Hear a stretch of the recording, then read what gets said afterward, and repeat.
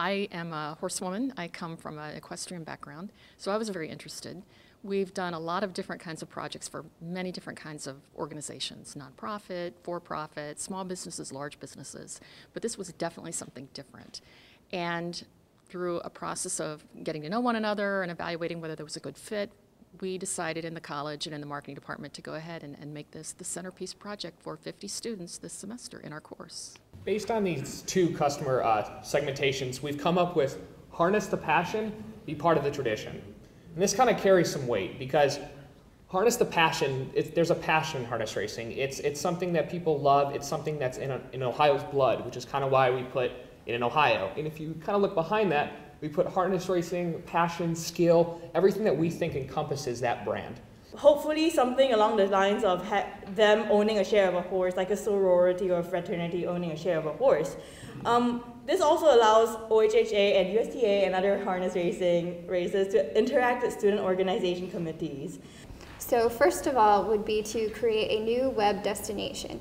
This would be different than the initial OHHA website.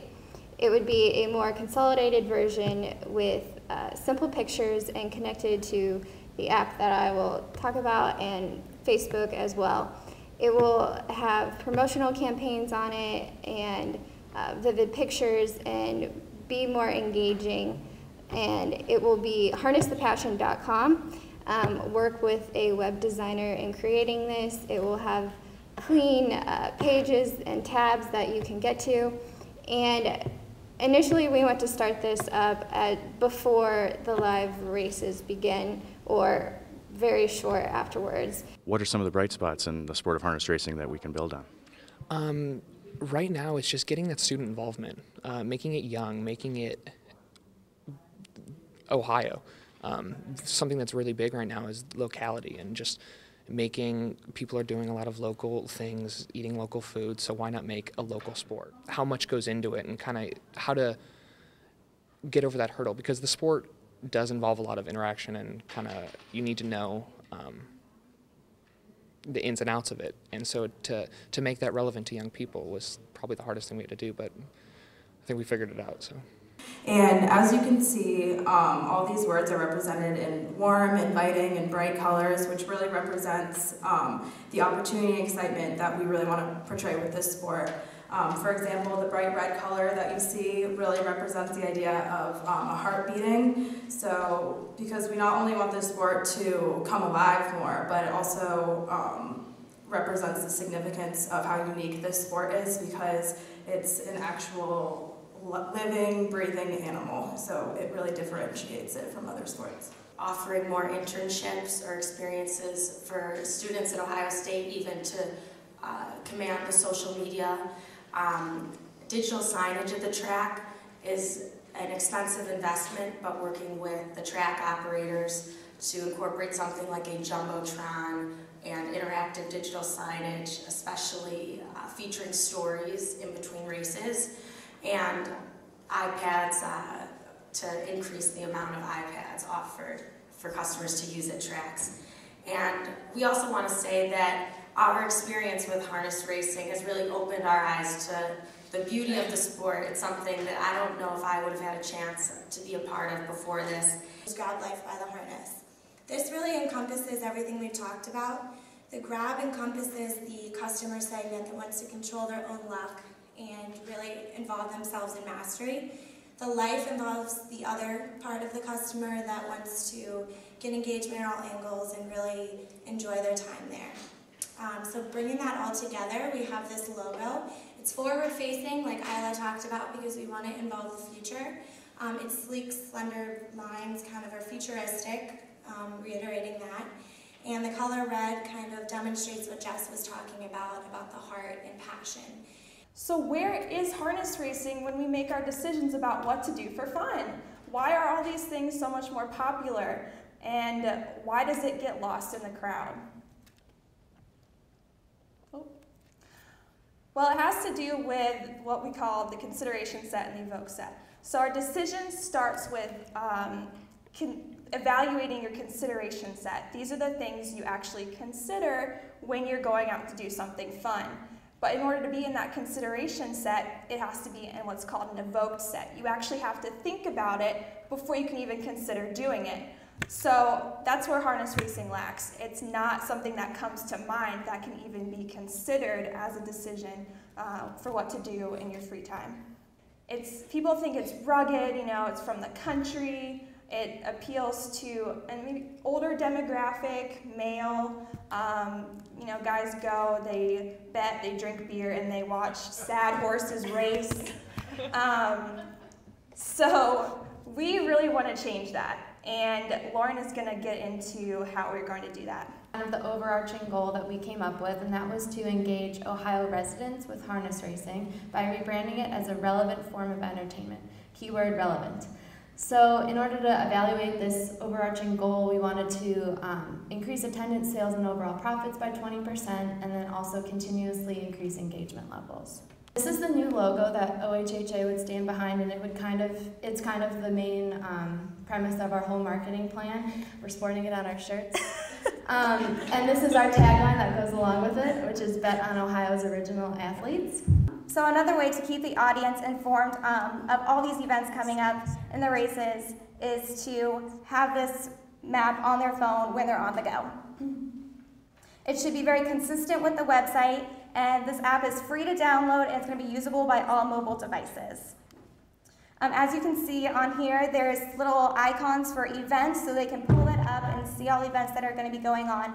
Um, there's a calendar, and then um, there's a map icon where you can go and um, click on it. It'll bring you directly to the track. And we also have a statistics icon, so we think that would be really, really great for those outcomers that we were talking about. Um, you know, people who um, want to study up, oh, sorry, people who want to study up uh, to see how they can increase their chances of winning at the races. And then these are going to be the associations that people are going to think of.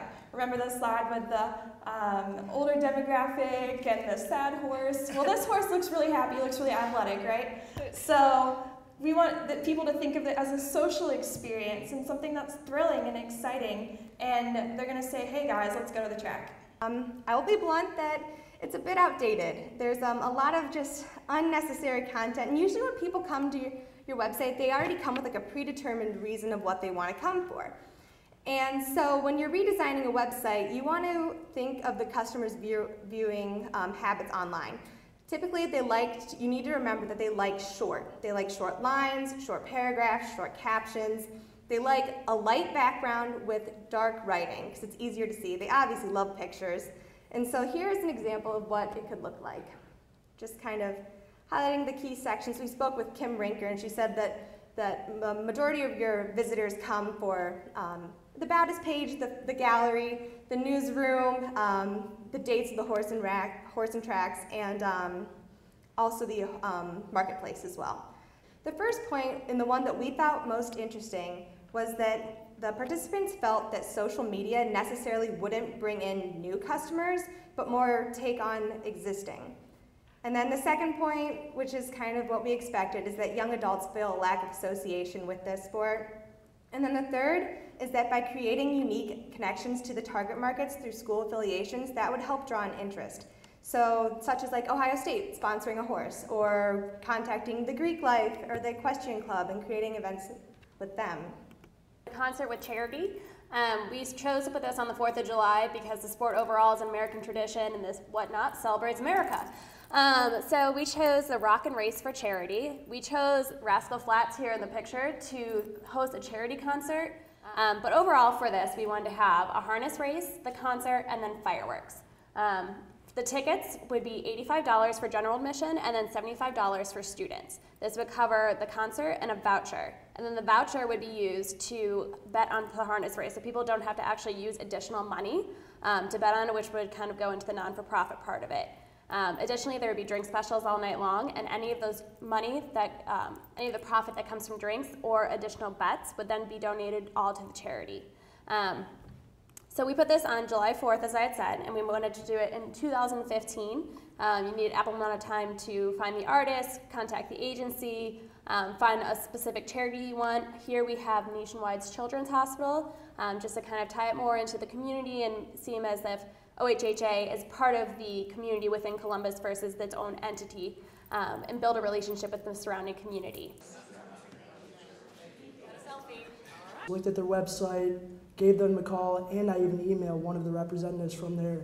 And every single channel, I got a different response. So I was trying to find out about the food options. Online, they say they have, you know, a players club where um, the sports bar that you can eat at. I called Northfield Park. The guy told me you have to go to um, the Hard Rock Casino. He said you didn't even have dining options. And then when I emailed one of the representatives, he told me that you do have concession options, but not dining options. So um, just that right there, that um, not even the fact that the sport I didn't want to go to, I was interested in attending the race, but that lack of communication, that inconsistency in the communication left a bad taste in my mouth. So we really want to focus on um, creating synergy between not only the tracks but the channels of information as well. We sat for a long time and we're like, this is so hard. We're working with this association, but we have four different tracks on four very different pages.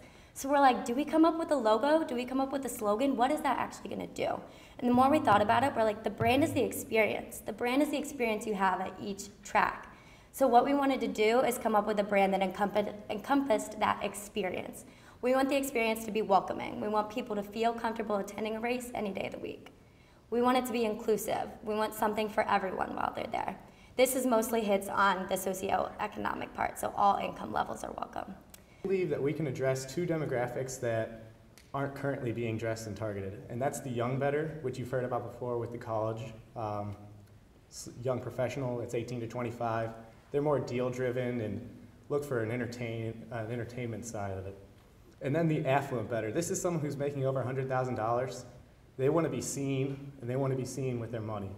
And they have the money and the free time to spend. So that's someone we definitely want, want to uh, invite or target what we're envisioning is that maybe you and your coworkers want to go in and collectively sponsor this horse, own this horse together. You and your family can join. And so it's not just one person who's invested, but it just spreads the interest of the community. And so more people are loyal to the race that day. More people have a vested interest in how of the outcome of the race and attending. As a, a typical customer that we would expect to uh, attend a harness racing event. Meet Larry. As far as the current customer um, of harness racing, Larry embodies these characteristics. He's a baby boomer, um, a white male. He has strong ties to harness racing, as well as it was likely passed down from generation to generation, either his father or grandfather. He enjoys harness racing as a hobby, and he's willing to spend the whole day at the track. There's a technology gap for him as well, but he does love the sport no matter what. Now, let's meet his wife. meet Laura. Laura is very similar to her um, husband in all respects, except for her reasoning to go to the track. She spends most of her time at the casino on the slot machines instead of watching and betting on the races. As we said, Larry and Laura spend uh, much of their time very differently at the track. As you guys can see by these, um, these charts, it's even more um, significant that men spend more time um, betting and at the races than women. In order to reach and attract new customers, OHHA and the tracks have used different methods of promotion. So what we've talked about so far is what we consider Harness 1.0. And so what we want to do is take you guys to the 21st century and make it Harness 2.0, a new revised and new strong base behind it. Without further ado, this will be our new uh, branding efforts. As you guys can see, this um, really fits uh, with the current base that we're looking for. It's new, it's clean, it's, it's very um, streamlined, and that's something that we really wanted to bring to the table. So for every race being run that day, guests will choose a horse that they think is going to place first. So after every race is finished, Points will be allotted in accordance with the place that they finished in. And the goal is obviously to end with the lowest number of points in this case. So for example, you see there that for the first race, we in this case chose Bullseye as the winner. So if Bullseye did end up winning that race, that would be one point. However, if we were to make the mistake of choosing Pittsburgh as a winner for the eighth race, then they, and then they ended up placing 10th, that would result in 10 points, which would lower their score, or it would increase their score, which is a bad thing in this case. So the winner at the end of the um, whole race day with the lowest points will win a jackpot based on how many other people purchased the scorecards that day. One thing I learned is how like how much tradition there is to it. It's something that started in ancient Greece with chariot racing, and the fact that it's still around today shows that there's a tradition and family um, that family handing it down from generation to generation that's just really strong and something that is really special because you don't have that in a lot of sports. You know, some sports start in the 1900s, um, but here, you know, you have something that's gone on for centuries. First one is looking at the revenue, making sure that the attendance goes up and the spending. We had an idea where it was fantasy harness racing, um, so we would want um, people to really take advantage of that and spend more money while right off the bat coming into it. And then another thing is we really wanted to work on the website. We wanted to work on social media, and so really kind of driving that traffic, whether it's retweets on Twitter or it's Facebook likes. Those are the big ways we want to discover those metrics. And then also we uh, talked about customer service and uh, the experience that customers get when working with people that work at the track. And so making sure that they have that constant ability to review the track owners and the, the track in general, and making sure those are positive reviews. You know, Yelp is something that's really, really prevalent. So we want those Yelp reviews to start going up and being really strong presence. Uh, we want to increase the brand awareness and uh, create a whole new uh, brand image. And we designed a logo for you guys. I hope you guys like it. And uh, uh, we created a video to show our concepts.